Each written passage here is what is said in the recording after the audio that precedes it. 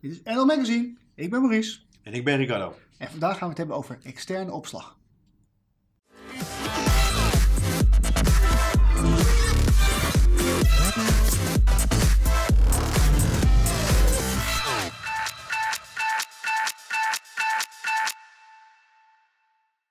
Oké, eh, Ricardo. Nou, ik heb hier dus een eh, harde schijf en een USB-stick in mijn handen. Waarvoor zou ik nou een USB-stick kopen en waarvoor zou ik nou een harde schijf kopen? Nou, eh, de voornaamste reden eh, waarom wij een USB-stick nemen, tegenover de externe harde schijf, is ook qua prijs, maar ook qua opslagruimte die we daarvoor hebben.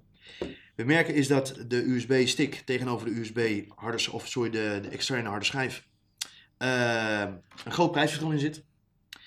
Hebben we het nou over dat we toch graag wat, wat foto's, documenten toch onderweg willen meenemen?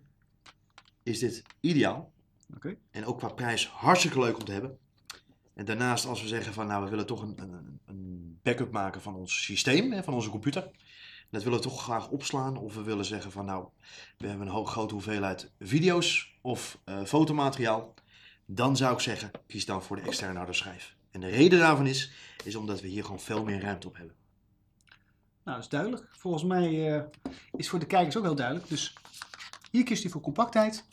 Hier kiest hij voor inhoud. Toch? Precies. Nou, mag ik u weer bedanken. Ik kan nog jou ook bedanken. Heel graag gedaan. En tot ziens. Tot ziens.